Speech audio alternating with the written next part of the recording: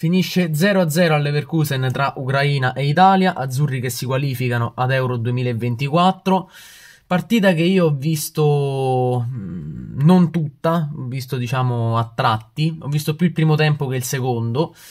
Eh, nazionale che è partita subito male, mm, partita meglio l'Ucraina con un tiro dalla distanza parato bene da Donnarumma.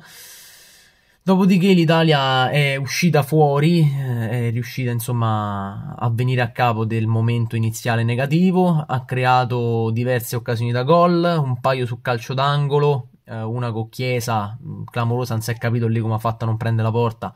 e una, con una mezza occasioncina in confronto eh, è stata quella di Di Lorenzo. E poi lo stesso Chiesa, migliore in campo, perché Chiesa migliore in campo fa tutto lui praticamente la nazionale, perché eh, veramente se non c'è Chiesa, e l'abbiamo visto anche con la Macedonia del Nord a Roma, se non c'è lui la nazionale veramente perde proprio di fantasia. E, e lui ha creato praticamente prima l'azione da gol per, per Frattesi, eh, che parte da sinistra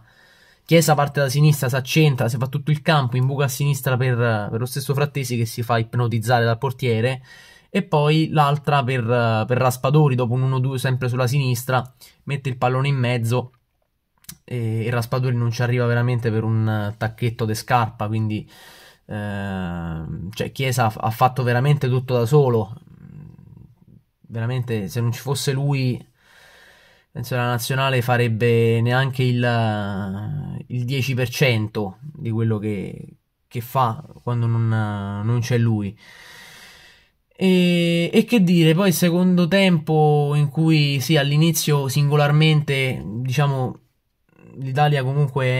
è, migliorata un pochino, anche per esempio Buongiorno che aveva cominciato male ha, è migliorato molto nel secondo tempo nonostante l'ammonizione anche che avesse rimediato abbastanza subito.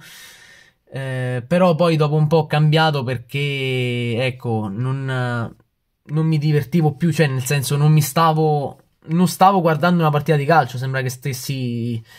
stessi guardando una sorta d'agonia, perché a me quando le partite di calcio, lo dico con la Juventus, lo dico con la nazionale, lo dico con, qual- con qualsiasi altra squadra, ma in particolare con Juve nazionale, magari perché appunto sono quelle a cui tengo di più, ovviamente. Però io quando una partita non mi diverte, io non ho problemi a cambiare canale, che sia la mia squadra, che sia, che sia un'altra partita, perché io se non guardo una partita di pallone non non ha senso, se devo vedere in agonia a sto punto cambio canale e basta, non ho problemi a dirlo, l'avrò detto almeno 500 volte. E lo diciamo 501, non c'è problema. Eh, poi ecco da quello che ho capito l'Italia è passata al 3-5-2 eh, non ho capito il perché sinceramente mettere Politano al 71esimo al posto di Zagnolo e farlo uscire al 91esimo per cambio tattico per mettere Darmian io, a me verrebbe da dire, per esempio, guardiamo Diago Motta in Italia, che quando la squadra è in difficoltà invece metti i difensori, metti gli attaccanti. Comunque, eh, Politano abbastanza contrariato perché ho visto ha fatto una faccia che mm, ha, c'ha anche ragione perché normalmente dice mi metti, mi metti al 71esimo mi togli al 91esimo ma che fai? Cioè togli qualcun altro, togli chi è più spompato ma perché devi mettere, togli a me che sono entrato mu per fare entrare un difensore? Cioè giustamente Politano si è un po' mezzo scazzato no? E, e niente, eh, Italia che poi, specie negli ultimi 10 minuti, un quarto d'ora, si è messa tutta dietro per, uh, per cercare di portarsi a casa lo 0-0. Eh, e io era un po' quello che dicevo no, l'altro giorno: l'errore che non dobbiamo fare è andare lì per giocare per lo 0-0. Invece siamo andati lì. È vero, nel primo tempo sostanzialmente ci siamo mangiati sto mondo e quell'altro. Perché se il primo tempo, poi ci ha avuto anche un'altra occasione Barella nel primo tempo che non ho detto eh, abbiamo avuto ecco 4-5 occasioni buone, quindi se tu il primo tempo stavi almeno 2-0 non c'era niente da dire, invece mm, tante volte ecco arriviamo magari al limite dell'area, non tiriamo in porta, eh, tante volte preferiamo gestire meglio, tornare indietro, magari sulla fascia per mettere il cross in mezzo, c'è eh, una nazionale che deve imparare, sì, mm, anche lei più a tirare da fuori area questo sì, deve imparare ogni tanto, perché questo è stato un problema anche con la Macedonia del Nord, che non l'ho detto l'altro giorno, però eh, tante volte, soprattutto quando poi è uscito Chiesa, che tante volte la nazionale arrivava lì davanti all'area di rigore e preferiva magari andare da Di Marco sulla fascia, preferiva andare da Darmian, preferiva insomma giocare sempre esterno piuttosto che magari cercare la conclusione centrale da, da fuori area, no? E questo è una cosa che, che dovrà essere affinata nel tempo, cioè cercare più magari le conclusioni dalla distanza e, e, un po' meno la giocatina magari al limite dell'area. Quello si fa quando c'è la possibilità, quando c'è spazio, ma la giocata forzata così non porta da nessuna parte, anzi fa ripartire i contropiedi delle, delle altre nazionali. Quindi quando c'è l'opportunità, abbiamo spazio, tirare da fuori eh, e non forzare, diciamo, la, la giocata verticale. Va bene, detto questo, una nazionale che mh, non è stata quella sostanzialmente. Mh, tanti dicono una bella partita, una bella partita. Sì, è stata una bella partita, ma fino a un certo punto perché eh, la nazionale avrebbe potuto fare molto di più anche in termini di,